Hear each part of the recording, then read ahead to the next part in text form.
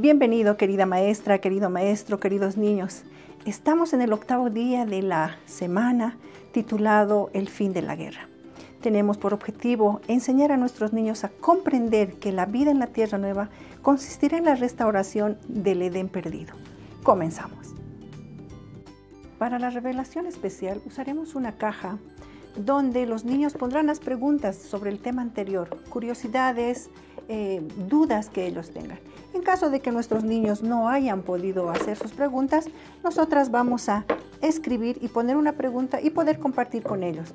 Por ejemplo, podemos decirles, ¿cómo podemos saber cuándo volverá Jesús? Ay, los niños tendrán curiosidad. Entonces buscaremos en nuestras Biblias, en el libro de Mateo 24, 36, la respuesta. Y la respuesta dice que nadie sabe sobre la venida de Jesús, ni siquiera los ángeles, tampoco Jesús. El único que sabe el día y la hora exacta es nuestro Dios. Entonces, tenemos que estar preparados, estar atentos a las señales que Jesús nos dio para su pronta venida. Quiero mostrarle algunos objetos y quiero que me digas cuánto puede durar cada objeto en esta tierra. Tengo una hoja de papel tengo un plástico, tengo un tornillo que es metal, tengo una tela, también tengo una caja de madera pintada.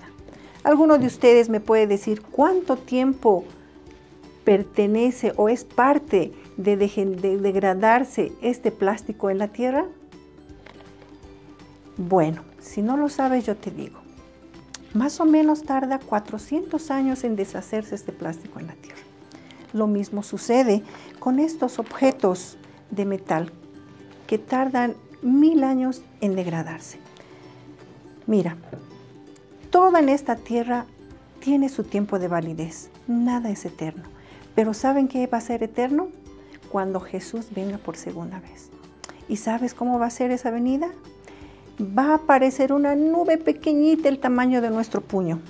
Aparecerá y de pronto se abrirá y Jesús estará llegando con sus ángeles. Cuando estemos en nuestra tierra prometida allá durante mil años, cada uno de nosotros va a tener su propia morada, va a poder cosechar su propio fruto y estaremos estudiando día tras día, aprendiendo más del amor de Jesús. También vamos a poder hacerle preguntas que quizás nosotros ahora no podemos encontrar respuestas cuando nosotros estemos allá en la tierra prometida con nuestro Señor, acá en la tierra se quedará el enemigo durante mil años buscando a quien hacer daño, pero no habrá nadie, porque todos los que estemos con Jesús estaremos allá en la tierra prometida. Para la actividad entregaremos a nuestros niños una hoja donde ellos podrán dibujar algo que les llamó la atención sobre la tierra prometida. Les entregaremos una hoja y ellos podrán dibujar lo que más les llame la atención. Tenemos más sugerencias que también están en nuestro folleto. Tú puedes acceder al QR y tendrás muchas más aplicaciones. Para el mensaje del cuartel general, tenemos que hacer nuestros pedidos de oración. Todos nuestros niños deben hacer sus pedidos y depositarlos en nuestro cofre, en nuestra cajita, donde nosotros los estemos recepcionando en toda esta semana. También tenemos que pedir a nuestros niños que también puedan sus oraciones, sus pedidos ser audibles. Vamos a invitar a nuestros niños al centro y vamos a orar. Vamos a orar con nuestros niños y les vamos a enseñar a que ellos sean consecuentes en la oración. Ese será el mensaje para nuestro cuartel. Para el espacio de curiosidades para nuestros niños, podemos enseñarles que, por ejemplo, eh, la Santa Ciudad va a descender sobre los montes de, los olivos en Israel y ésta se va a abrir para ella posar. Esto se encuentra en el libro de Zacarías 14:14. 14. Hay muchas curiosidades que vamos a poder encontrar en nuestros folletos y poder compartir con nuestros niños. Para leer el mapa realizaremos dos actividades. Utilizaremos un atomizador con fragancias. Utilizaremos una pequeña porción y a los niños les diremos qué es lo que sienten. Mm, estarán atónitos y no habrán nada. Luego seremos, esparciremos más mm, y el olor invadirá toda la habitación. Y les preguntaremos, ¿cuál de las dos opciones fue la más generosa? Y ellos nos dirán la segunda. Sí, fue la segunda. Así es nuestro Jesús, muy generoso para podernos ayudar. vamos a buscar en nuestras Biblias. Y yo les voy a dar pistas. Y eso es lo que tenemos que hacer a nuestros niños para que ellos interactúen, ¿no? Para que ellos piensen. Y les vamos a dar pistas para buscar un texto de la Biblia. Vamos a escribir los nombres del Nuevo Testamento y les diremos, está Mateo, Marcos, Lucas. ¿Qué texto falta? Ah, ellos dirán tal texto. Muy bien. Vámonos al siguiente, al capítulo el capítulo va a presentar el doble del número perfecto. ¿Cuál es? Y los niños pensarán, sí, ese, ese, perfecto, ese es el capítulo. Para encontrar el versículo, le diremos que es el número que representa un par. ¿Alguien lo adivinó? Eh, los niños estarán buscando, ¿no? Estarán craneando. Entonces, ellos encontrarán el libro que es nuestro versículo, que está en el libro de Juan, el capítulo 14 y el versículo 2, que dice nuestro versículo.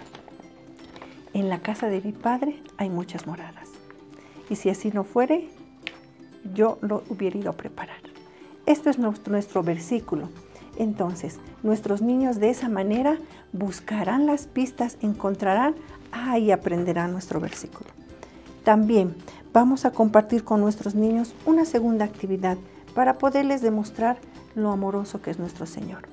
Vamos a utilizar un frasco con la palabra yo. Este frasco va a representar a nuestros eh, pastores, a nuestros colportores, a nuestros niños que van a obsequiar libros que hablen del amor de Jesús, a la gran tarea que tenemos como misioneros nosotros somos invitados también a ser misioneros y llevar ese amor de Jesús, porque aprendimos, ¿verdad?, que como Él es generoso, nosotros también. ¿Y cómo podemos desbordar ese amor? Utilizaremos el segundo frasco que diga Dios. Este frasco va a llevar vinagre y va a llevar un poco de colorante. ¿Qué es lo que vamos a hacer? En este primer frasco donde dice yo, vamos a introducir una cucharita de eh, bicarbonato y una de levadura. Vamos a introducir y compartir el líquido en el frasco que dice yo. Y nosotros vamos a ver lo que sucede. Oh, ¿ustedes vieron qué es lo que sucede? Miren cómo se esparce por todo lugar. Por todo lugar. El amor de Jesús es así. Rebosa. Cuando tú conoces a Jesús, cuando tú te acercas, ese amor va rebosando y quiere compartir todo lo que nosotros aprendemos con otras personas. En el llamado vamos a especificar a nuestros niños que la salvación es un regalo, es un regalo de Dios y que tú puedes aceptarlo. Él te hace una invitación para que tú puedas ser salvo y ser parte de esa gran familia. ¿Tú quieres aceptar este regalo y permitir que Jesús more en tu corazón? Espero que así sea. Quiero que tú compartas estas decisiones con nuestros niños y podamos orar con ellos y podamos invitarlos a poder aceptar a Jesús. En este espacio puede haber dudas en nuestros niños. Nosotros podemos invitarlos a que ellos sean parte de un, de un grupo de estudio bíblico podemos invitarlos al Club de Conquistadores, Club de Aventureros y hacer estudios con nuestros amigos. Invítalos para que sean parte y también puedan conocer más del amor de Jesús. Para hacer y compartir con nuestros niños y haber puesto todo lo aprendido, vamos a hacer una cajita donde vamos a poder poner los nombres de cada uno de nuestros amigos, familiares por los que queremos orar. También podemos realizar un cartel para orar y tenerlo en nuestra pared y que nuestros niños puedan poner los nombres de quien va a orar todo ese tiempo. Y ellos van a tener ahí al frente y recordar por los nombres que debemos orar.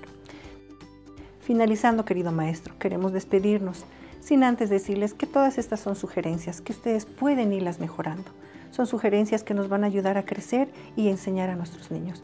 Que Dios pueda bendecir tu vida y la vida de todos los que te rodean. Muchas bendiciones.